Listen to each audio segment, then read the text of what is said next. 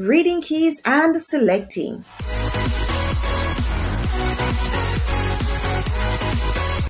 Hi, welcome to another lesson. Remember that these lessons are intended for persons who are blind and visually impaired, so please feel free to share them with those persons who might need it.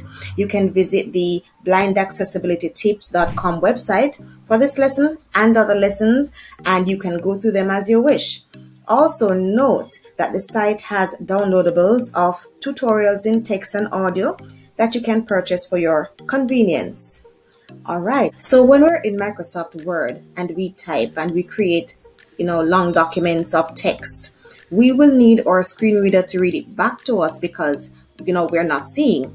And that does not only apply to Microsoft Word because we could be on the internet where there is text or in another program when there where there is text. We will need the screen reader to read back the text to us because we are not seeing it. That is what we're going to be looking at today, right? Now, our screen readers can read text to us on different levels, meaning as small as character by character, as well as right up to reading an entire document all at once for us, right? Also, we want to note that the keys or the keystrokes that we're going to be focusing on today are not necessarily tied to our screen readers they're actually Windows based uh, Windows based keystrokes. So that means that even if a screen reader is not running, these keystrokes will actually operate to move the cursor around in the same fashion that we're about to discuss, right? All right, so let's think about this. Characters make up words. A group of characters make up a word, right? And in Microsoft Word, a group of words eventually will fill up one line and then of course you'll move on to another line. So a group of words continue to fill lines and lines and so on right? So characters make up words words make up lines and a group of lines together make up a paragraph doesn't it keep that logic characters make up words words make up lines and lines make up paragraphs. If you remember that, the keystrokes will make sense to you. All right, so we have some text here. First, we are going to look at how to read character by character. Now, when we write in English, we usually write from left to right. So if you're writing the word blind, you would begin with the B, then you put the L beside it to the right and you continue to type or write letters going to the right. So it makes sense that using the right arrow will take you through a word character by character. So I'm going to use, I'm in front of the word reading and I'm going to use my right arrow and see what I hear. Cap E. Says cap E, capital E, right? Cap A, Cap D, Cap I, Cap N, Cap G. Yes, so it went through the word character by character going to the right. And obviously, the reverse is the same. If you use the left arrow, it will take you through character by character in the opposite direction. So I'm going to use my left arrow. Cap N, Cap I, Cap D, Cap A, Cap E, Cap R. And I am back in front of my R. All right, good. Now, that's character. Reading by character. Now, characters make up words. We're going to just add the control key to those two left or right arrow to read word by word. I like to say the control key is like a super key. Yeah, so instead of just using the arrow keys by themselves where they go through on a smaller level, character by character, the control adds a little bit more power. And now you begin to jump word by word. So we're already in front of reading. I am now going to hold on my control and press the right arrow with it. So I'm pressing the keystroke control right arrow. Keys. And it goes in front of the word keys and it reads the word keys. Going again, control right. N. And selecting. Selecting. Yeah. Okay. And Again, the reverse is the same. So control left arrow will help you to read word by word in the opposite direction. So I'm going to use control left. N. Keys. Reading. Reading. Right, reading, because that's the last word, so it goes nowhere else. All right, good.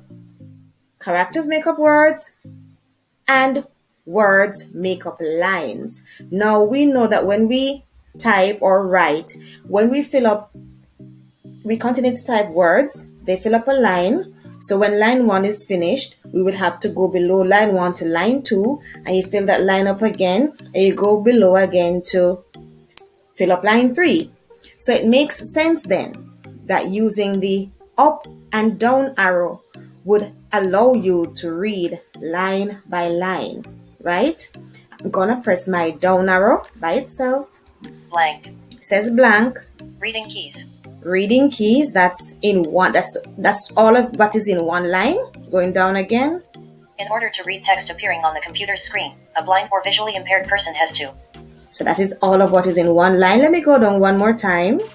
employ the use of some keystrokes. Although these keystrokes are being bundled with the Microsoft Right. So that's that's reading line by line, just up or down. So well, that's the down arrow. Let's try the up arrow. Let me use up. In order to read text appearing on the computer screen, a blind or visually impaired person has to Yes, the up arrow takes you in the opposite direction, also reading line by line. Okay?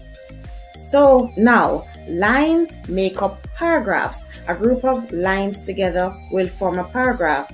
Now, it's important to know that in Microsoft Word, even if you've only typed one line, as long as you press the enter key, that is considered to be a paragraph. All right? So, yes, we read line by line with our up and down arrows. Now we're going to add the super key. Again, the control key to those same up or down because lines make up paragraphs. We're going to just add the control to set that same up or down to read paragraph by paragraph. Now I'm at the top of the document. So I'm going to try firstly control down arrow. blank. It says blank. There's nothing there in that line.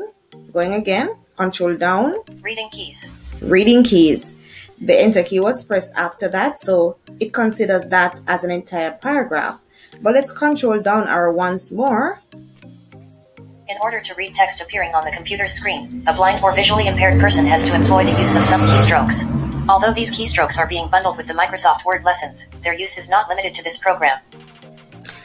Alright, so that is a very long paragraph. I had to cut it, but you get the point. Control down arrow will allow you to read an entire paragraph. And as usual, the control up arrow will do the same, but in the opposite direction. So you will keep going up, reading paragraph by paragraph. Okay? Okay, so let's do one final keystroke. Now, let me just hasten to say that there are other keystrokes that we can use, but the ones that we're doing in this lesson are the main ones and the ones that you can really use and be efficient at whatever you're doing, right? Now we've looked at left and right arrow, allowing us to read character by character. Control, left and right arrow, allowing us to read word by word. Up and down arrow, allowing us to read line by line. Control, up and down arrow, allows us to read paragraph by paragraph, right? And we noted the similarities with those keystrokes. The last keystroke, however, is slightly different from those, and it is the keystroke that will allow you to read the entire document. It doesn't matter if it's a one page document or 50 pages, this keystroke will allow your screen reader to read and read and read from wherever the cursor currently is to the end of the document. So it's quite a handy keystroke. It is insert down arrow or on some if you're running the laptop layout of NVDA, then you would need insert A. Since I'm running the laptop layout, I'm going to use insert A and let's let's let's listen to what happens. Reading keys and selecting reading keys in order to read text appearing on the computer screen. A blind or visually impaired person has to employ the use of some keystrokes. Although these keystrokes are being bundled with the Microsoft So there you go. You realize it's reading everything from the top going straight down to wherever I just stopped it. I stopped it by the way with my control key. That will stop the speech. All right. So it's the only keystroke that is a little different. Insert down arrow if you're running the desktop layout or insert A if you're running the laptop layout of NVDA. That will allow you to read the entire document. All right, let's now look at selecting.